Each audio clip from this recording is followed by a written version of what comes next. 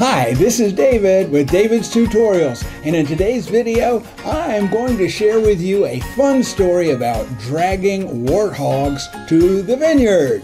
Here we go. Now, I know everybody's probably wondering if you haven't looked it up already, what are you talking about? What is a warthog? Well, let me start with what a warthog is, and we'll get to the dragging and the vineyard part in just a little bit. Okay, a warthog is the endearment that pilots in the Air Force who fly them and those who don't call the A 10 Thunderbolt II close air support aircraft.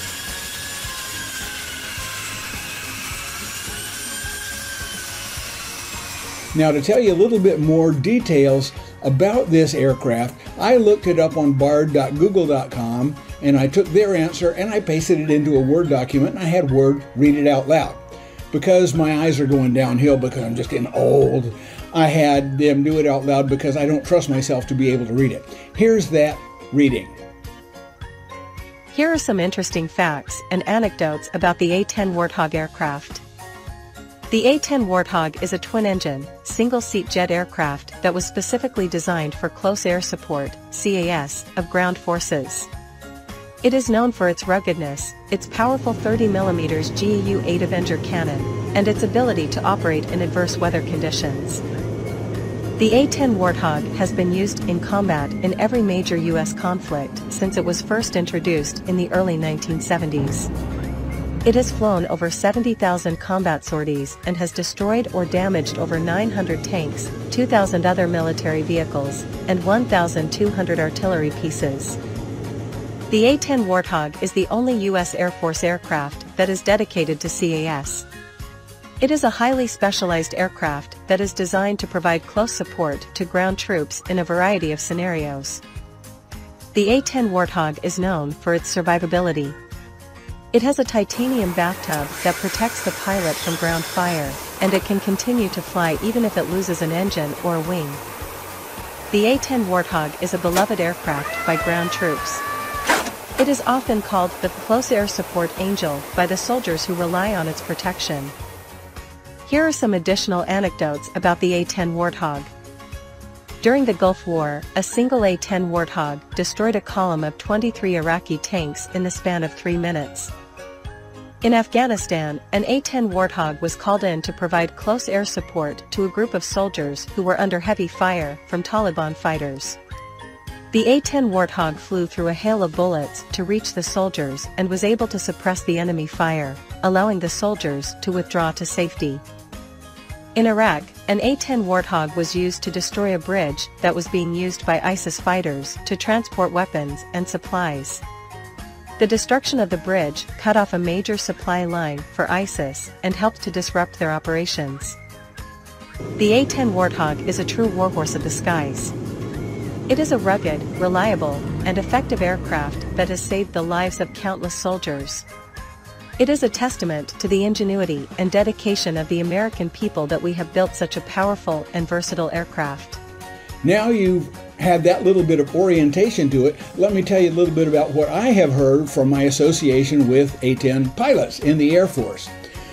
Back in the early 1980s, I lived in uh, Columbus, Mississippi, and my next door neighbor had come to Columbus to the Air Force Base there from flying the A 10 Warthog. And we had a lot of interesting conversations, and some of the things he told me was well, just like in the reading you just heard, the aircraft has a titanium bathtub where the pilot sits in there, and this titanium bathtub is designed to be very resistant to small arms fire so that some person on the ground with an AK 47 shooting up in the air at the aircraft is not going to have that bullet penetrate the aircraft and injure the pilot. And it does a very good job of this. But because of this, when I lived in Montgomery, Alabama, uh, especially among the pilot community there, we had a joke that we would tell about the A 10 aircraft. Pilots understand this better because they are familiar with the A 10 and they're familiar with what a flight simulator is. And the joke went like this it says, Hey, did you hear? We got this new A 10 simulator right here on Maxwell Air Force Base. And they look at you and they say, Hey, this is Maxwell Air Force Base. We don't have A-10s here. Why do we have an A-10 simulator? And you say, Oh, it's it's that dumpster over behind the building there. They just put a chair inside of it and people throw rocks at it. That's probably a lot more funny joke to pilots who understand what the A-10 is and the fact that it's very much subject to small arms fire from the ground. Now, as a close air support aircraft, it is designed to be low and slow, carry a lot of ammunition, a lot of ordnance. But basically, what my neighbor told me is that the A 10 aircraft, what it is really, it's a gun with an aircraft built around it. And that's exactly what it is. The gun has seven barrels.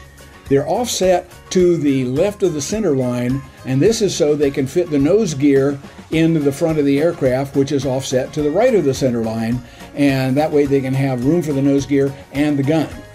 And this gun is 30 millimeters, as it said in that reading, but if you think about it, that's more than an inch in diameter. And the bullets in that gun are about the size of a quarter pound hot dog and they weigh a pound and a half each. They're made out of depleted uranium.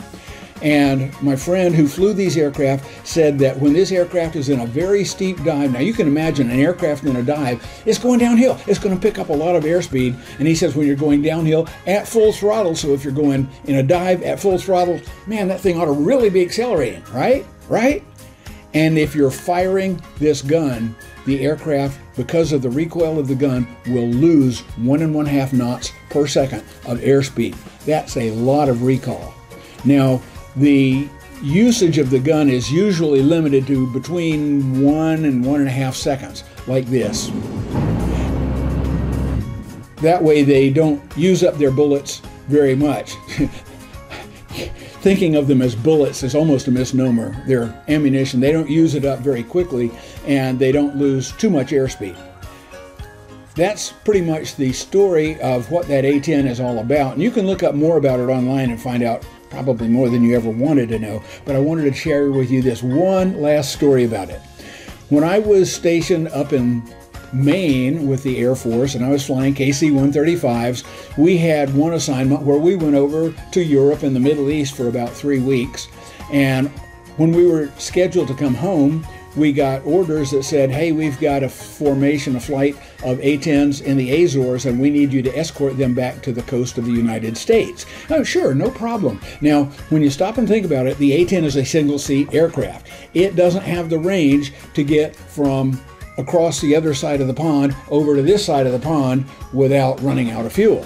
So having a tanker, which is designed for air-to-air refueling, accompany them especially considering the fact that the tanker has a navigator on board and a lot of good navigation equipment, it's just a good idea to have these A-10s fly back across the Atlantic Ocean in the company of a tanker. So that's what we did.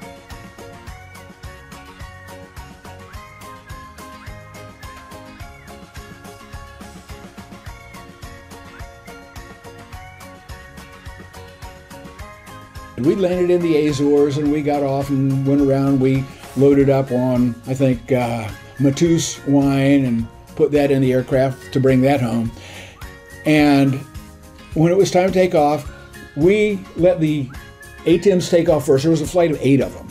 We let them take off first because, as I said, they're low and slow. Now, our normal refueling altitude is somewhere between 31 and 33,000 feet, but because these were A-10s, we had to fly at 27,000 feet and we had to go down to 25,000 feet to refuel just because the air is a little bit more dense there, and this is where the A-10s were designed to fly at that altitude and below, not much above it at all. So when we took off, we had to have enough fuel on board for us to get back across the ocean and get home, and we had to have enough fuel to refuel each of these aircraft twice during this trip across the ocean. That means we were pretty heavy when we take off. Now, as you can probably imagine, when an aircraft is heavy, it needs to usually fly a lot faster. So we were able to fly at a speed that was compatible with the A-10s flying in formation with us. Uh, but it was when it was time to refuel, the A-10s need to have enough reserve speed so that if they fall behind, they've got some power left that they can catch up and join on the boom. So we had to slow way down. And because at that first refueling we were still very heavy, we had to fly so slow that in order to keep from being in danger of stalling or flying so slow that we fell out of the sky, we had to put down about 20 degrees of flaps. And this is one of the few times we have had to put our flaps down to refuel other aircraft. But that worked out just fine. And we had all eight of these A 10 aircraft cycle through on the boom and fill up, and they were all fine, fat, dumb, and happy. And we proceeded another third of the way across the ocean, and then they cycled onto the boom one more time. Actually, we were most of the way across the ocean because they had to go home once we hit the coast of the United States. And we cycled them through a second time, and they got all filled up, and they were good to go all the way home. Now, one of the things you have to understand is the tanker aircraft it's basically a Boeing 707 modified for military service. It's a big airplane. All of the fuel tanks are in the wings and underneath the floor of the aircraft. We can get up and we can walk around all day long inside that aircraft. There's a latrine inside, there's a galley inside where we can uh, store hot coffee and fix meals if they're given to us by the in flight kitchen. So it's really quite a comfortable aircraft to take a long flight in because you're not pinned in that one seat in one position for a long period of time. A 10 aircraft pilots, on the other hand, usually don't have long sorties. They usually, at most, are an hour, maybe two hours at the very most this was a long flight, and these poor A 10 pilots, here they are strapped into this single seat cockpit. They can't get up, they can barely even move other than to just move their controls and their rudder pedals. So they're strapped in this. Now, pilots love to tease each other. One of the ways that we tease these A 10 pilots is a little bit of a passive aggressive thumb in the ribs joking is uh, they, they'd pull up beside the cockpit and we would be waving to them and we'd talk to them on the radio too and just, you know, how you guys doing and, and where's your home base, blah, blah, blah. And we're out in the middle of the ocean, nobody else can hear us, so we're a little bit more lax with radio discipline. But one of the things we did to tease them, we would hold up our cup of coffee and we'd kind of salute them with a cup of coffee and take a drink and, and just smile. And of course, they had their helmet on and their eye shield down, the sun visor part of the shield, and they had on their oxygen mask because that's just the way they fly. And when we would do that, they would kind of go. You could inside the helmet, you couldn't see through it, but you could imagine they were rolling their eyes. I mean, thanks a lot, guy. But this is just one of the ways we tease them. Well, we finished that trip and we got all the way to Martha's Vineyard, right off the coast of Massachusetts, and they were now in range of the on ground navigational aids, and they could pick it up on their radios and they could peel off and go back to their base, and I think it was South Carolina, and we were able to peel off and go north up to our base up in Maine. And that was the end of that story. But it was just a, a fun thing to share with you, and I hope you enjoyed this story. If you did, you know what to do. Give me that thumbs up. Let me and let the YouTube robots know that you thought it was a nice video, and so they will recommend it to other people. Also, click that share button and share this video with other people you know might enjoy hearing this little story. And if you're already a subscriber, thank you so much. I appreciate every single one of you. And if you're not, why not go ahead right now and click that subscribe button and then the bell icon, and YouTube will let you know by email when I post another great video right here on David's Tutorials and Vlog channel. Meantime, everybody, have a wonderful day. Take care, and I'll see you in the next video. Bye bye.